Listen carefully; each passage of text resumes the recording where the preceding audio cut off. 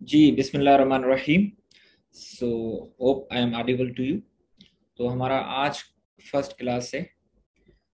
तो हम आज ये डिस्कस करेंगे कि बेसिक्स ऑफ़ इंग्लिश ऐसे कौन से हैं और उसमें relevance unity coherence and organisation वैसे हमने जिन लोगों ने कल डेमो सेशन दिया था, उसमें हमने इस इस पे थोड़ी रोशनी डाली थी।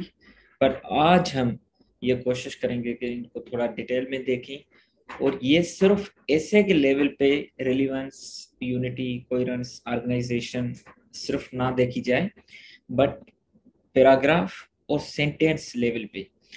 ये बात आप याद रख लें कि अगर आपका आपका right word at the right place है और आपका सेंटेंस इफ़ेक्टिव है तो आपका पैराग्राफ बेहतरीन बनेगा और उसके साथ साथ आपका ऐसे अल्टीमेटली वो बेहतरीन होगा।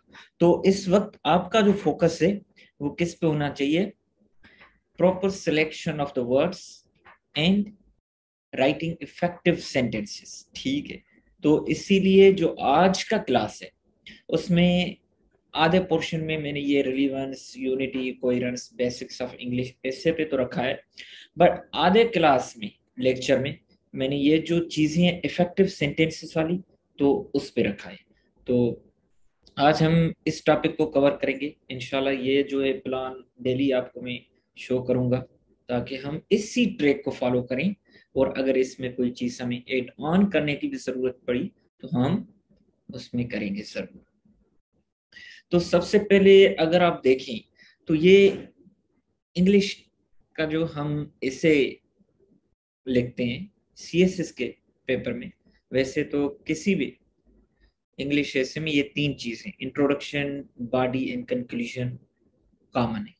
बट यहाँ पे जो सी एस एस का हमारा इंग्लिश का ऐसे है तो उसमें अगर आप देखें तो ये आउटलाइन पे मांगी जाती है। तो हमें क्या करना है कि अपने ऐसे में आउटलाइन भी लाजिम लिखनी है और हम सीखेंगे भी कि आउटलाइन कैसे लिखी जाएगी, अच्छी आउटलाइन की क्वालिटीज क्या होनी चाहिए, ठीक है?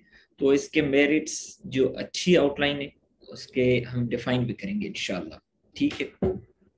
तो सबसे पहले हम अगर सी एस एस का सिलेबस देखें और उसमें स्पेशली इंग्लिश ऐसे का सिलेबस आई होप कि किसी ने शायद नहीं देखा हो कि आप लाजिम क्या करें कि वो उसका सिलेबस थोड़ी दो दो तीन लाइन्स हैं, वो रीड करें।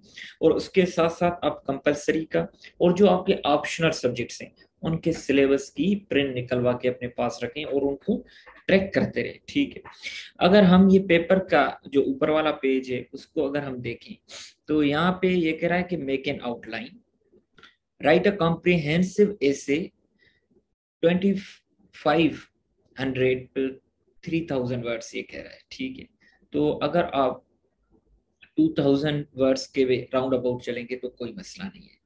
On any given topics almost ten topics होते हैं, ठीक है?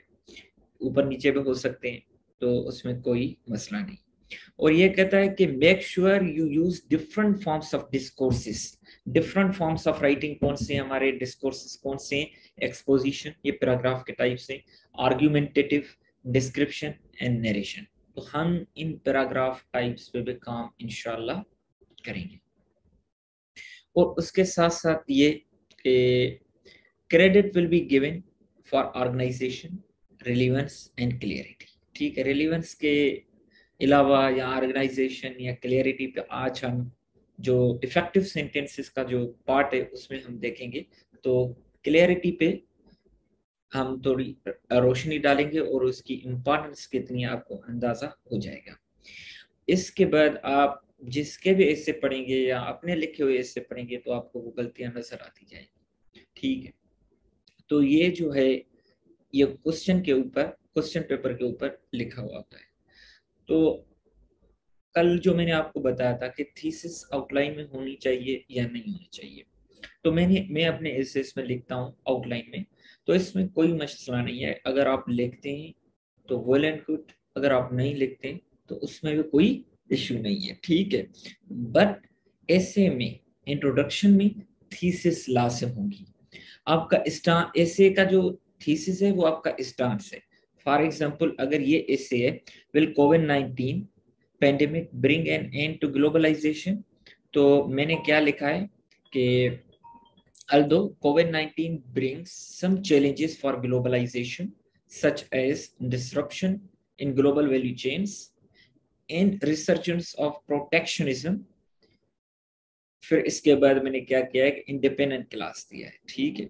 Globalisation will bounce back because interdependence cooperation and digital connectivity will not come to an stand तो ये कॉम्प्लेक्स सेंटेंस से आधे में मैंने सबॉर्डिनेट क्लास उसके बाद मैंने क्या किया है कि इंडिपेंडेंट क्लास दिया है।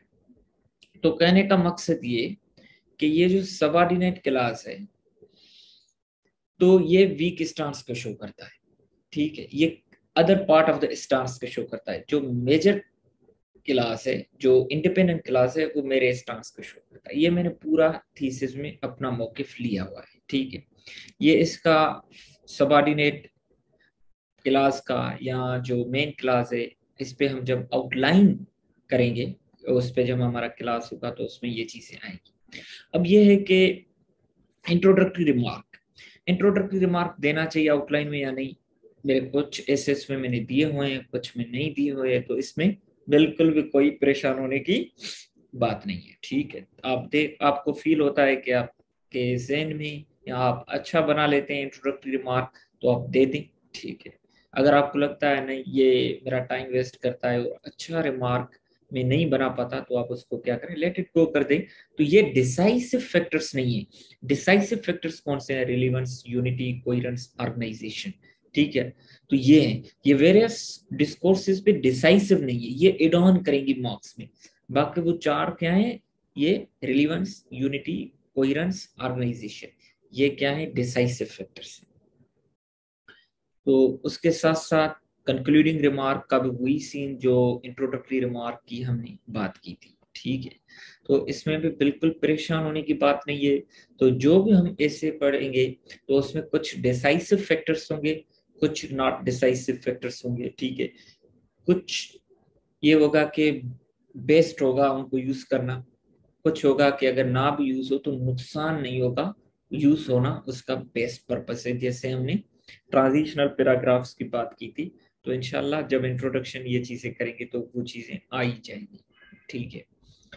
तो आउटलाइन मैंने आपको कहा था कि फ्रेस में होनी चाहिए, उसमें यहाँ पे मैंने फ्रेस में लिखी हुई है तो इसमें कोई मसला नहीं। अगर फ्रेस में लिखते हैं तो फिर पूरी आउटलाइन फ्रेस में लिखी। अगर सेंटेंस में लिखते हैं तो पूरी आउटलाइन सेंटेंस में लिखी। और आप देख रही हैं कि ये जो है मैंने यहाँ पे डिस्क्रिप्शन भी दी हुई है। तो कुछ लोग क्या करते हैं केसिन पॉइंट वर्ड लिख के ये देते हैं। अब इतना रिपीट होता है केसिन पॉइंट वर्ड तो फिर वो क्लीशे बन जाता है, इतनी रिपीटेशन आ जाती है। तो आप सिंपल डॉट दे के ये स्पेसिफिक ये चीज़ें दे अब किन पॉइंट्स में मैंने दिए, कहीं पर नहीं भी दिए, जहाँ पे मुझे लगा कि मेरे पास है तो मैंने दे दिए, जैसे यहाँ पे दिए। तो आप दे सकते हैं। तो ये जो रिलीवेंस है तो मैं आपको बात बताऊँ, ये डिसाइसिव फैक्टर है। तो अगर रेलिवेंट नहीं होगा कोई भी पोर्शन तो मार्क्स आपको कैसे मिल सकती हैं? तो मार्क्स का और रेलिवेंस का क्या है? डायरेक्ट प्रोपोर्शनल है, ठीक है?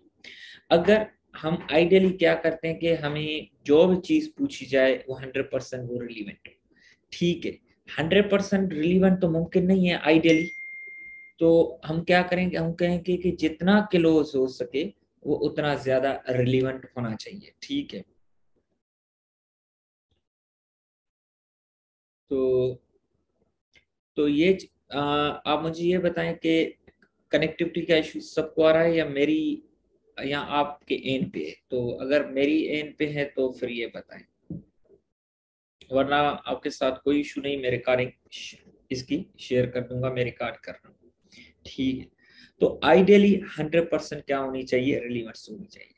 अब आइडियली मार्क्स भी सौ हैं तो सौ तो नहीं आ सकती। अब जितनी आपकी अच्छी रिलीवेंस होगी, उतनी आपकी अच्छी मार्क्स होंगी।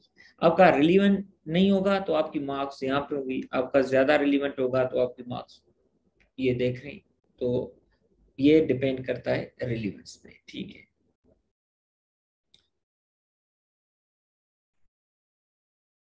और दूसरा है डिसाइसिव फैक्टर के यूनिटी सिंगल आइडिया ठीक है।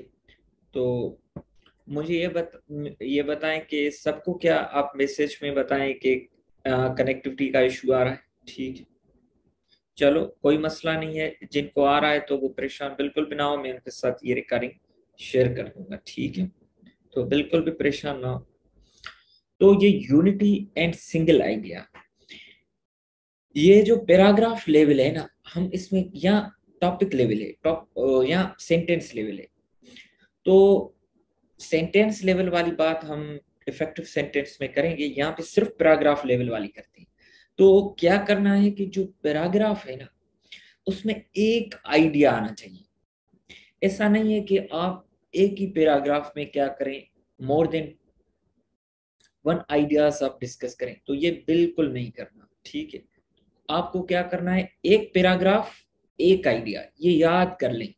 अगर आ, मैं आपको कहूँ कि education transforms the passive citizens into active one तो सिर्फ़ ये बात हो। मैं कहूँ कि education raises the intellectual tone of society तो सिर्फ़ इंटेलेक्चुअल टोन कैसे रेस करती है उस पर ये नहीं कि education transform passive citizens into active and raises the intellectual tone of the society ये दो सेपरेट आइडियाज़ हो गए। ये सेंटेंस की इफेक्टिवनेस भी खराब कर रहे हैं और दूसरा, ये पैराग्राफ की यूनिटी को भी वायोलेट कर रहे हैं। तो टॉपिक सेंटेंस जब हम, वैसे आज तो हमारा बेसिक पे है तो टॉपिक सेंटेंस में हम और रोशनी डालेंगे तो टॉपिक सेंटेंस एक आइडिया को डिस्कस करेगा तो अल्टीमेटली बॉडी सपोर्टिव आर्ग्यूमेंट्स पे एक ही आइडिया को सपोर्ट करेंगे देन कंक्लूडिंग सेंटेंस एक ही आइडिया को सम अप करेगा। तो यूनिटी का आइडिया पैराग्राफ लेवल पे ये है कि अगर एक पैराग्राफ एक आइडिया अगर आपको मैं कहूँ कि पाँच पैराग्राफ हैं तो आप कहेंगे पाँच आइडिया से छह बॉडी की। छह हैं तो छह ठीक है। अगर आठ पैराग्राफ का कोई ऐसे है पूरा, एक इंट्रोडक्शन एक कंक्लूजन बाकी छह छह आइडियाज़ हैं, ठीक है। तीसरी बात आ जाती है कोहिरेंस कोहिरेंस का मतलब ये है कि निटिंग जैसे सिलाई होती है, एक धागा से दूसरा पॉइंट तीसरी पॉइंट निकलती है। इसी तरह ये देख रही है, ये तस्वीर बता रही है कि एक चीज़ एक में कनेक्ट एंड फिट हो रही है। ऐसे लेवल पे आपके जो पैराग्राफ हो, एक दूसरे के साथ फ्लो करें। दूसरा पैराग्राफ पहले से निकले, तीसरा दूसरे से, चौथा तीसरे से। एक फ्लो बनता जाए। सेंटेंस दूसरे सेंटेंस से निकले। ऐसे मतलब पूरी कनेक्टिविटी हो। ये तभी कनेक्टिविटी हो सकती है जब क्लियरेंस होगी कोहिरेंस तभी डेवलप हो सकती है। ठीक है? तो कोहिरेंस अगर नहीं होगी आइडियाज़ की डायग्रेशन होगी from one point to another point ये क्या करेगा? बिल्कुल भी ऐसे पढ़ने में मज़ा नहीं देगा। आपने पैराग्राफ में टॉपिक सेंटेंस में एक आइडिया डिस्कस किया और पैराग्राफ के बीच में जाके आपने आइडिया शिफ्ट कर लिया तो ये क्या होगा? यहाँ पे भी यूनिटी वायलेट हो गई और कोहिरेंस बिल्कुल खत्म हो जाएगी। तो कोहिरेंस क्या चीज़ है? ये चीज़ें वैसे पे आगे आएँगी।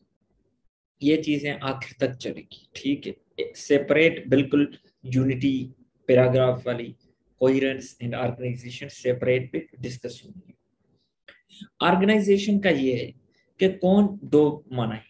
कौन सी चीज़ पहले आनी चाहिए? यहाँ पे देखें one two three four five ये सिक्स ये कह रहा है, नहीं, ये इसको ऊपर लेके आए। ऑर्गेनाइजेशन ये कहती है। ये जो पहले वाला है, इसको सेकंड ले जाए। ठीक है, ये जो तीसरा है वो वहाँ पे ही रहे, ये जो चौथा है उसको यहाँ लेके आए। ठीक है, इसी तरीके से वो कह रहा है कि जो पैराग्राफ मोस्ट इंपॉर्टेंट है उसको पहले रखें, जो लीस्ट इंपॉर्टेंट है उसको पीछे रखें और most important to least important आप क्या करें, पूरी हैरारकी बने तो इसी तरह ऑर्गेनाइजेशन दूसरा ये बताती है कि जो हमारी पूरी मेन आउटलाइन होगी, उसमें एक तो मेन वेरिएबल होंगे, दूसरे सब वेरिएबल होंगे, एक मेन आस्पेक्ट होंगे, दूसरे सब आस्पेक्ट होंगे। तो ये बताएगी कि कि मेन आस्पेक्ट में कितने सब एस्पेक्ट होने चाहिए? किसी में छह लायक हैं तो उसमें छह होने चाहिए। किसी में कम होने चाहिए तो वो बता रही कि कम होने चाहिए, ठीक है? तो यहाँ से हमें बिल्कुल ऑर्गेनाइजेशन का पता लगे। दो मीनिंग कौन सा पैराग्राफ पहले और कौन सा बाद में आना चाहिए? दूसरा ये कि मेन वेरिएबल में कितने पैराग्राफ्स होने चाहिए? और कितने नहीं होने चाहिए। ठीक है? आउटलाइन हमारा अलग पूरा लेक्चर है। तो हम आज क्या करें? ऊपर ऊपर से सारी चीज़ों को टच अपॉन कर रहे हैं। ठीक है? तो मेन आते हैं हम कि हमारी राइटिंग का पर्पस क्या है। जब आप लिखते हैं तो आपको पता होना चाहिए कि जो मैं राइटिंग कर रहा हूँ, जो मैं पेपर कर रहा हूँ, जो मैं इससे बना रहा हूँ क्लासरूम में बैठ के या जाके रूम पे, अपने रूम पे बैठ के या ये जो है पेपर में बैठ के। तो आपको पता होना चाहिए कि आपके लिखने का पर्पस क्या है।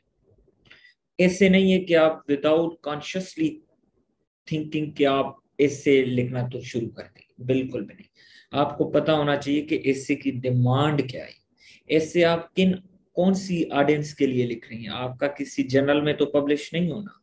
ठीक है, ना ही ये साइंस का कोई मुकाबला है कि आपने वो अगर साइंस पे से लिख रहे हैं तो जॉर्गन्स को लिखेंगे तो ये नहीं। तो आपकी इंग्लिश लैंग्वेज की टेस्ट है, अगर आप बम्बास्टिक वर्ड्स जॉर्गन्स में चले जाएँगे तो वो चेक करने वाला बोर हो जाएगा। तो चेक करने वाला हमारी ऑडियंस है, वो कौन है?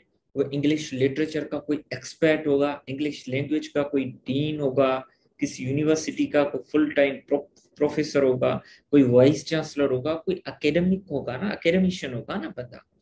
तो हमें उसके लिए लिखना है। तो हमें उसको जहन में रखना है कि उसकी डिमांड क्या हो सकती है। वो ये चाहेगा कि फ़िलहाल इंग्लिश हो रिलीवेंस हो यूनिटी हो कोयरेंस हो ऑर्गेनाइजेशन हो, जो पॉइंट आपने दिए उसको सपोर्ट किया। तो ये चीज़ें इसमें आ जाती तो आप इस चीज़ को देखिए, ये जो चीज़ है, ठीक है? ये आप पढ़ें। ये आपको मैं थर्टी सेकंड्स देता हूँ, आप खुद भी रीड करें। मैं आपके लिए भी रीड करता हूँ, ठीक है? तो आप क्वेश्चंस जितने भी हों, आप पुट करते जाएँ। मैं आखिर में यहाँ से चैट बॉक्स से आपको आंसर कर दूँगा या आपके कैमरा को माइक को ओपन कर दूँगा, ठीक है?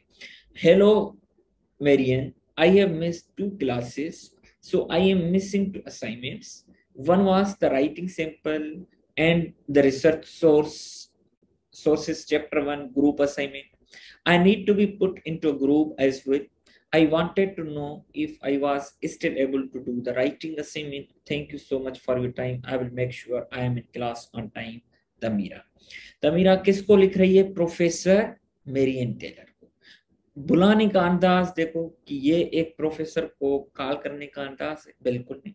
और केपी, आए तो हमेशा कैपिटलाइज आता है। नहीं है। फॉर्मल राइटिंग अपने प्रोफेसर को लिखने का ये बताएँ, और ये यहाँ पे कोई फुल स्टॉप, कोई कैपिटलाइज नहीं। यहाँ पे कैपिटलाइज, यहाँ पे ज़रूरत नहीं है, वहाँ पे दी हुई है। तो बिल्कुल भी कोई पंक्चुएशन, फॉर्मल राइटिंग के रूल्स ही नहीं फॉलो किए। तो मतलब इस स्टूडेंट को, इस कैंडिडेट को पता ही नहीं कि मेरे राइटिंग का पर्पस क्या है। आप बताएँ कि ये जो प्रोफेसर साहब हैं, क्या इनको सीरियस लेगा? क्या इनकी रिक्वेस्ट एक्सेप्ट होगी? क्या चांसेस हैं? क्या ये जो चांसेस थे, वो और ज़्यादा खत्म हो गए? तो अगर आप इसकी जगह हो तो आप मुझे बताएँ, क्या आप को ये एक्सेप्टेबल होगी एज अ प्रोफेसर कि आपका स्टूडेंट इस तरीके से आपको कॉल करे हुए, इस तरीके की लैंग्वेज लिखे इन्फॉर्मल या जो है शॉर्ट राइटिंग लिखे जो मैसेजेस टाइप की होती है। तो इसी तरह हमारे क्लास में एक दोस्त ने इंजीनियरिंग के क्लास में मैडम को ईमेल की थी तो वो ये जो रोमन इंग्लिश होती है, उर्दू वाली तो उसमें की तो उसने खासी उसकी इज़्ज़त अफजाई की थी। तो ये फॉर्मल राइटिंग में बिल्कुल भी नहीं। ठीक है।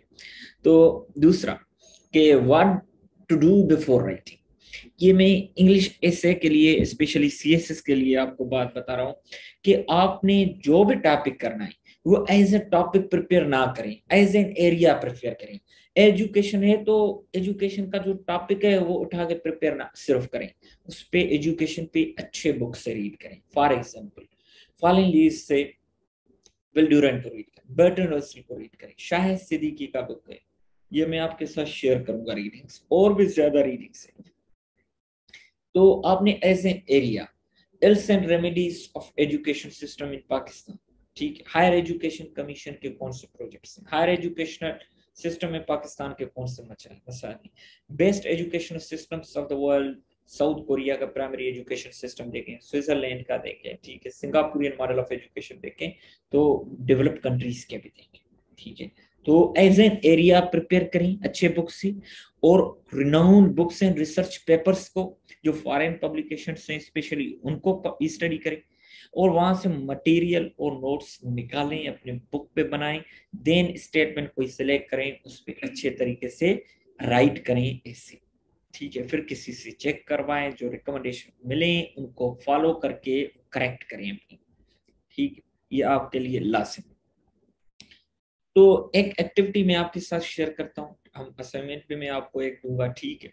तो ये जनरल है, क्योंकि आप बेसिक अभी हम हमारी चल रही है कि टॉपिक है funding for religion based schools in your town और सिटी सिंपल टॉपिक है। ठीक है, ऐसे सी एस में इस टाइप के नहीं आते। ये मैंने आपके साथ सिंपल इसीलिए शेयर किया कि आपको समझ सके।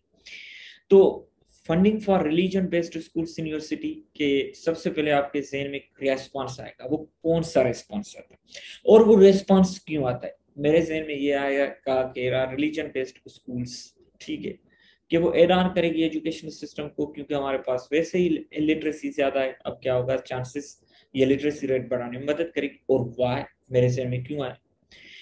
टू पॉसिबल व्यू पॉइंट्स आ सकते हैं कि ये एड ऑन करेंगे हेल्प करेंगे फॉर्मल एजुकेशन सिस्टम को। दूसरा ये आ सकता है, नहीं यार ये वो जो मॉडर्न एजुकेशन है, वो इम्पार्ट नहीं करेंगे, जो लेबर फोर्स है, वो नहीं है ये दो व्यू पॉइंट्स है। मैं कोई भी एक व्यू पॉइंट ठीक है, उठाऊं, ठीक है, अपना जो है, उस पर जो मैंने कंसीडर किया है उस पर सपोर्टिव आर्ग्यूमेंट्स दूँ और उसको प्रूफ करूँ। अगर दूसरे का कोई व्यू पॉइंट देता हूँ तो वो भी दे सकता हूँ।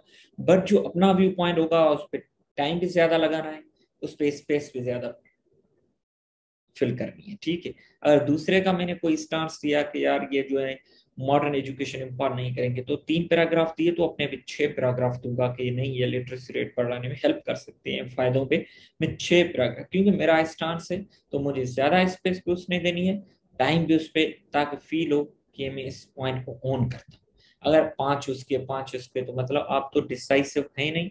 You are indecisive about the point then examiner can also be indecisive about giving you marks ठीक है। तो ये भी है कि मैं आपके साथ शेयर कराऊं कि टोनी अपने इंस्ट्रक्टर को मैसेज कराए। आप देखें कि इसकी लैंग्वेज क्या है। हम आते हैं टोन ऑफ़ द टॉपिक क्या होनी चाहिए। ये कह रहा है पीट व्हाट्सअप जैसे हम दोस्तों को कहते हैं। इसमें भी देखें कि इन्होंने, इसने कैपिटलाइज बिल्कुल भी नहीं किया। ठीक है। सिंपल ऐसे ही।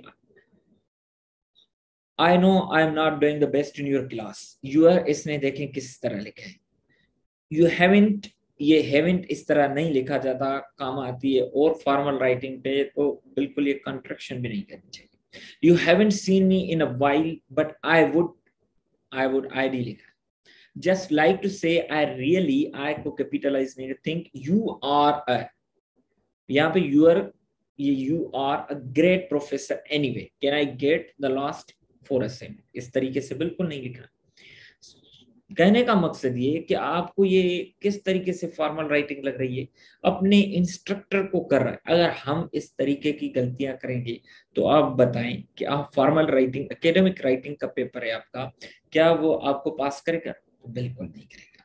तो ये आप समझ लें कि गलतियाँ हमें, मुझे यकीन है कि आप ऐसा नहीं लिखेंगे बट ये है कि इनमें से को, कोई ना कोई गलती आपके पेपर में होगी। कहीं कैपिटलाइज होगा कहीं ये ये गलती होगी तो इसी तरीके से आपको अपना टोन ऑफ़ द टॉपिक से या आपको दोस्त को भेजें, समझ में आती है, अपने प्रोफेसर को, अपने इंस्ट्रक्टर को, अपने अकेडमिशियन को नहीं भेज सकते, ठीक है? तो अब टोनी को अपने ऑडियंस का बिल्कुल भी पता नहीं, और आप मुझे बताएँ कि इसका इंस्ट्रक्टर का रिएक्शन क्या होगा, ठीक है? तो ज़ाहिर सी बात है तो ये जो इसने कॉन्ट्रेक्शन या कैपिटलाइज नहीं किए तो उसको बहुत बुरा लगेगा, ठीक है। क्या टोनी का पर्पस पूरा होगा? बिल्कुल नहीं पूरा होगा। उसका गोल ही अचीव नहीं होगा, ठीक है। तो टोनी का जो टीचर है इंस्ट्रक्टर है पीट उससे क्या एक्सपेक्ट करता है? वो जो है एक्सपेक्ट करता है कि ये अच्छे तरीके से इसने मुझे ईमेल किया, ठीक है। तो ये जो टोन है ना ये मैसेज को डिस्क्राइब करता है, ठीक है? तो हमेशा आपका जो मैसेज है, वो आपके टोन से डिटरमिन होता है। इसीलिए फॉर्मल राइटिंग में आपने बिल्कुल ये जो हमारी ब्रिटिश लैंग्वेज है, उसको ही क्या करना है? फॉलो अप करना है, ठीक है? तो दूसरी बात ये कि आपके लिए होमवर्क है कि how would you write on इस मैसेज ये कल मुझे मैसेज आप सबने वर्ड डॉक्यूमेंट पे लिख के, ठीक है, ये कॉपी पेस्ट करके मैं आपके साथ स्लाइड करूँ, बल्कि ये आप लिख के, ठीक है, मुझे सेट करके भेजिए ठीक है। तो सिर्फ़ वही पैसे जो आपने सेट किया है, बाकी ये पैसे तो मेरे पास है, ठीक। Explain the changes you would make and how these relate to Pete's needs and interest वो चेंजेस जो आपने किए हैं, वो आधारी बातें आप जब सही फॉर्म देंगे मुझे तो वो खुद ब खुद एक्सप्लेन हो जाएँगी। और उसको हम क्लास के फ़र्स्ट में डिस्कस भी करेंगे ठीक है?